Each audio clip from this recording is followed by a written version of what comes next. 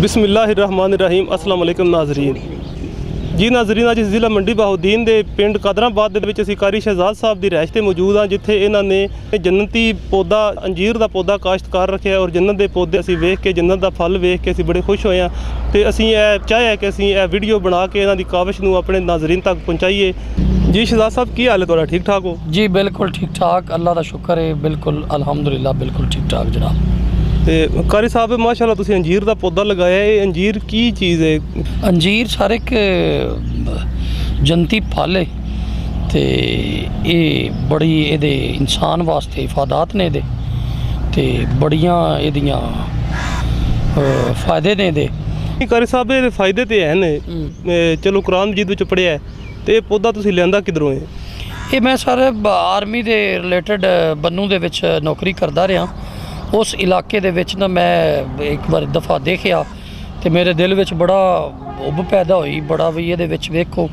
ਅੱਲਾਹ ਪਾਕ ਨੇ ਅੱਲਾਹ ਰੱਬੁਲ ਇੱਜ਼ਤ ਨੇ ਅ, ਕੁਰਾਨ ਪਾਕ ਦੇ ਵਿੱਚ ਇਸ ਦੀ ਕਸਮ ਖਾਈ ਹੈ ਸੂਰਤ 3 ਦੇ ਵਿੱਚ। ਠੀਕ ਹੈ ਜੀ?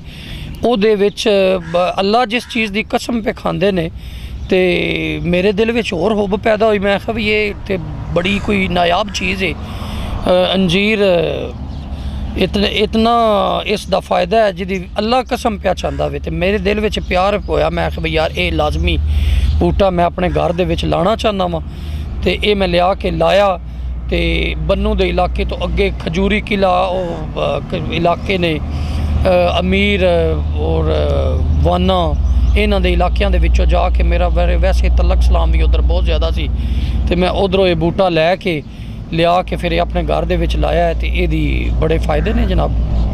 ਤੇ ਪਹਿਲੀ ਵਾਰੀ ਜਦੋਂ ਤੁਸੀਂ ਲਾਂਦੇ ਗਏ ਹੋ ਆਮ ਪੌਦਿਆਂ ਦੀ ਤਰ੍ਹਾਂ ਠੀਕ ਠਾਕ ਇਹ ਪੈਦਾ ਹੋ ਗਿਆ ਜੀ? ਹਾਂ ਪਹਿਲੀ ਦਫਾ ਮੈਂ ਲਿਆ ਕੇ ਲਾਇਆ ਸੀ ਤੇ ਫਿਰ ਮਸਲਾ ਬਣਿਆ ਸੀ ਕੋਈ ਯੂਰੀਆ ਡਾ ਪਾ ਕੇ ਤੇ ਇਦੋਂ ਉਦੋਂ ਕੋ ਖਰਾਬ ਹੋ ਗਿਆ ਸੀ ਤੇ ਮੈਂ ਦੁਬਾਰਾ ਉੱਥੋਂ ਜਾ ਕੇ ਇਹ ਬੂਟਾ ਲੈ ਕੇ ਆਂਦਾ ਲਿਆ ਕੇ ਮੈਂ ਘਰ ਆਪਣੇ ਲਾਇਆ ਤੇ ਬੜੀ ਅੱਛੀ ਚੀਜ਼ ਹੈ ਕਾਰੀ ਸਾਹਿਬ ਅੰਜੀਰ ਦਾ ਪੌਦਾ ਤੁਸੀਂ ਕਹਿ ਰਹੇ ਹੋ ਕਿ ਜੰਤੀ ਫਲ ਹੈ ਜੀ। ਇਹ ਜ਼ਮੀਨ ਉੱਤੇ ਕਿਸ ਵਕਤ ਉਤਾਰਿਆ ਗਿਆ ਹੈ? ਇਹ ਮੀਆਂ ਸਾਹਿਬ ਜਿਸ ਵਕਤ ਇਨਸਾਨ ਦੀ ਤਖਲੀਕ ਹੋਈ ਹੈ ਨਾ ਉਹ ਉਸ ਵਕਤ ਹੀ ਉਤਾਰਿਆ ਗਿਆ। ਇਨਸਾਨ ਦੀਆਂ ਬਿਮਾਰੀਆਂ ਦੀ ਹਿਫਾਜ਼ਤ ਵਾਸਤੇ ਇਹ ਬੂਟਾ ਅੱਲਾਹ ਪਾਕ ਨੇ ਉੱਤੋਂ ਉਤਾਰਿਆ ਗਿਆ। ਤੇ ਕਾਰੀ ਸਾਹਿਬ ਇਹ ਕਿਹੜੀ ਕਿਹੜੀ ਬਿਮਾਰੀ ਦੀ ਅਫਾਦੀਅਤ ਰੱਖਦਾ ਹੈ? ਇਹ ਬਿਮਾਰੀਆਂ ਬਹੁਤ ਜ਼ਿਆਦਾ ਤੁਸੀਂ ਮਿਹਦੇ ਦੀ ਤਕਲੀਫ ਕਰ ਲਓ। ਖੂਨੀ ਬਵਾਸੀਰ ਖੁਦ ਮੈਂ ਦੋ ਚਾਰ ਜਗ੍ਹਾ ਦੇ ਉੱਤੇ ਅਜ਼ਮਾਇਆ ਵੀ ਏ, ਦੇਖਿਆ ਵੀ ਹੈ ਬੰਦੇ ਲੈ ਕੇ ਜਾਂਦੇ ਨੇ।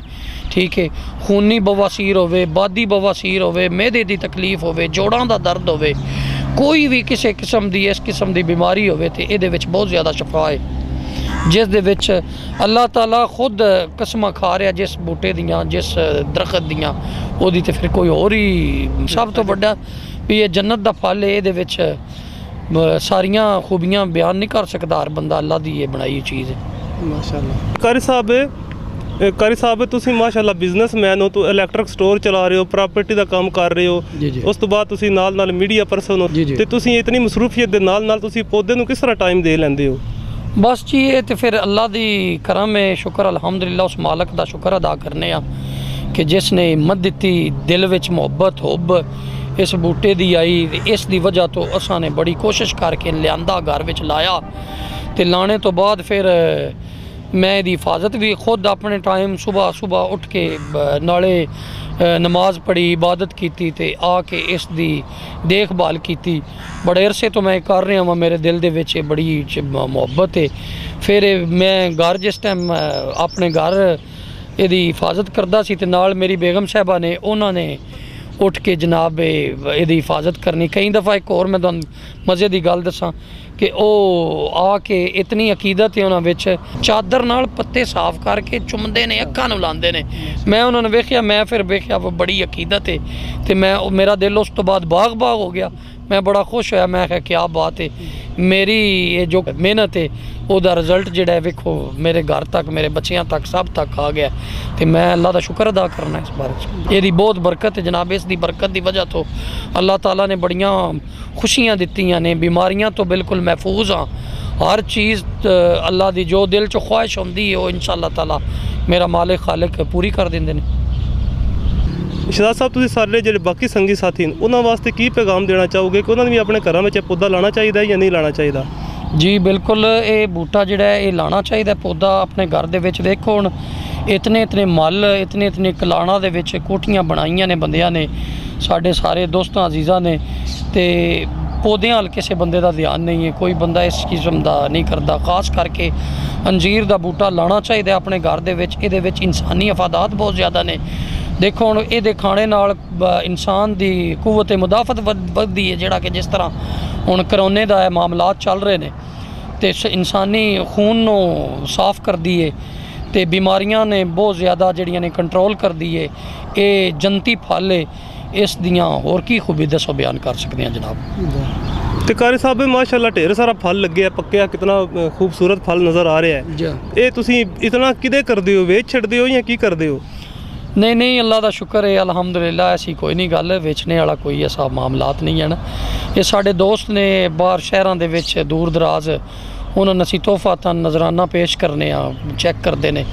ਕੁਝ ਦਿਨਾਂ ਤੋਂ ਨਾ ਮੈਂ ਵੇਖ ਰਿਹਾ ਸੀ ਤੇ ਜਿਹੜੇ ਹਕੀਮ ਹਜ਼ਰਾਤ ਨੇ ਇਹ ਮੇਰੇ ਮਗਰ ਲੱਗੇ ਸਨ ਉਹ ਸਨ ਇਸ ਤਰ੍ਹਾਂ ਫਲ ਚਾਹੀਦਾ ਹੈ, ਇਸ ਮਾਮਲਾਤ ਚੋਂ ਤੇ ਮੈਂ ਉਹਨਾਂ ਤੋਂ ਦਰੇਕ ਕੀਤਾ ਮੈਂ ਬਸ ਸੌਰੀ ਕਾਰੋਬਾਰ ਹਾਂ ਕਾਰੋਬਾਰ ਨਹੀਂ ਮੈਂ ਇਹਦਾ ਕਰਨਾ ਚਾਹੁੰਦਾ। ਜੰਨਤ ਦਾ ਤੋਹਫਾ ਜਿਹੜਾ ਇਹ ਮੈਂ ਪੇਸ਼ ਕਰਨਾ ਚਾਹੁੰਦਾ। ਆਪਣੇ ਜਿਤਨੇ ਅਜ਼ੀਜ਼ੋ ਕਾਰਬ ਨੇ ਦੋਸਤ ਨੇ ਉਹਨਾਂ ਦੀ ਵਜ੍ਹਾ ਵਾਸਤੇ। ਕਾਰੀ ਸਾਹਿਬ ਤੁਹਾਡਾ ਬਹੁਤ ਸ਼ੁਕਰੀਆ ਤੁਸੀਂ ਆਪਣਾ ਕੀਮਤੀ ਟਾਈਮ ਦਿੱਤਾ।